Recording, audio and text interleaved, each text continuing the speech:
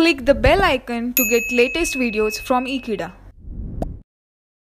Hello friends, so today we are here to learn about eigenvalues and eigenvectors. In this particular video, we are going to focus upon what is modal matrix and how to diagonalize a given matrix.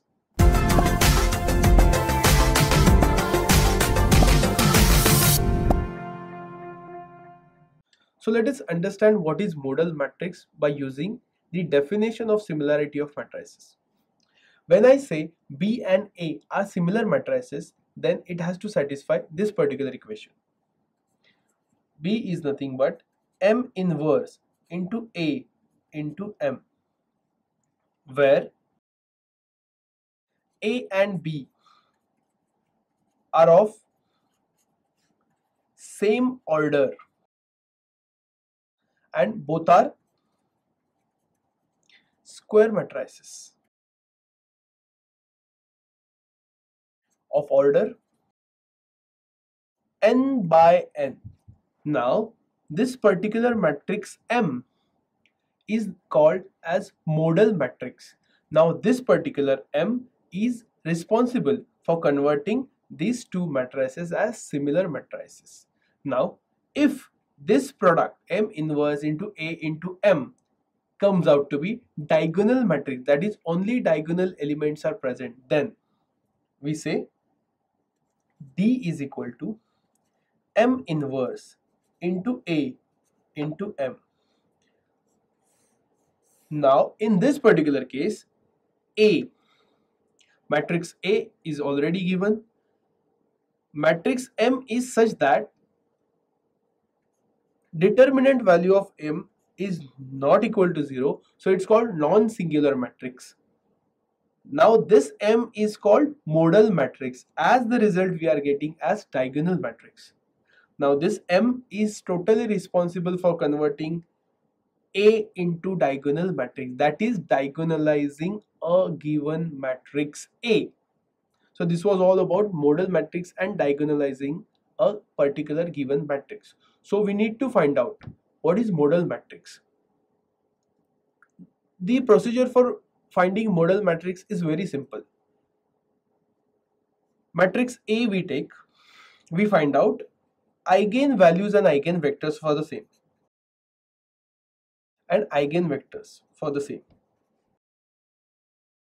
Now in order to construct this matrix M, we put all the eigenvectors column wise that is x1 in first column x2 in second column x3 in second column like that xn. These column vectors we are going to put.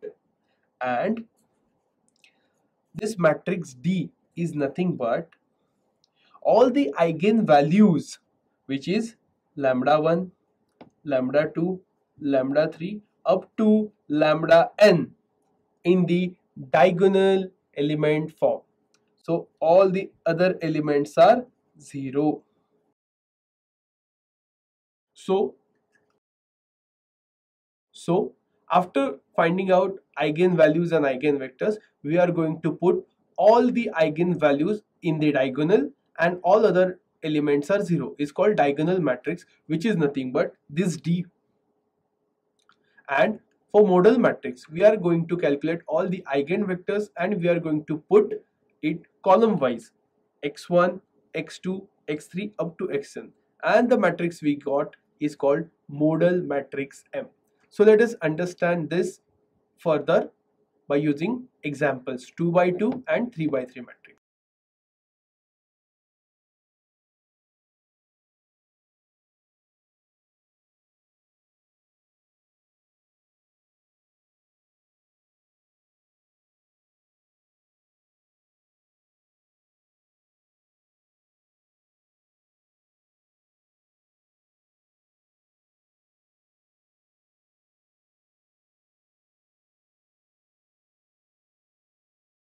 So let us understand what is modal matrix and how to diagonalize a given particular matrix A using this example.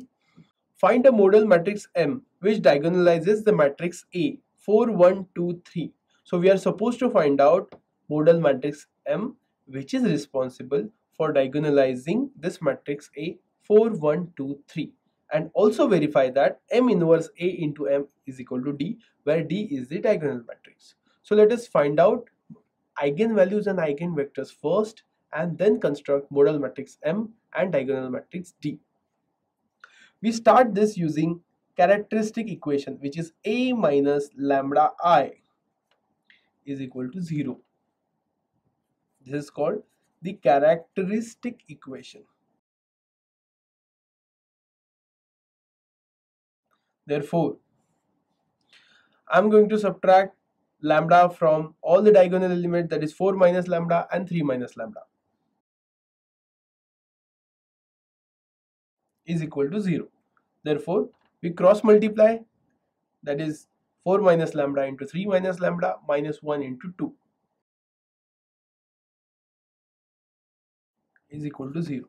Therefore, 4 into this 3 minus lambda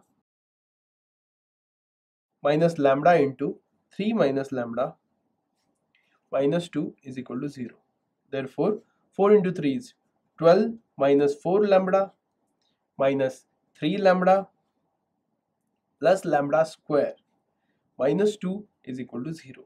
Therefore, we get lambda square 4 minus 3 which is minus 7 lambda and 10 minus 2 which is plus 10 is equal to 0.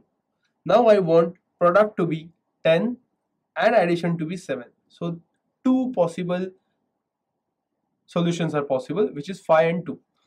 Therefore lambda minus 5 and lambda minus 2 is equal to 0. Therefore lambda is equal to 2 and 5. Therefore the eigenvalues are 2 and 5. So let us find out what are the eigenvectors for the same. Case 1 lambda is equal to 2.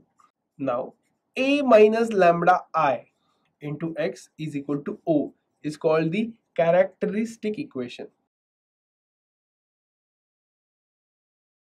Now let us subtract 2 from all the diagonal element that is 4 minus 2 is 2 so 2 1 and 2 and 3 minus 1 1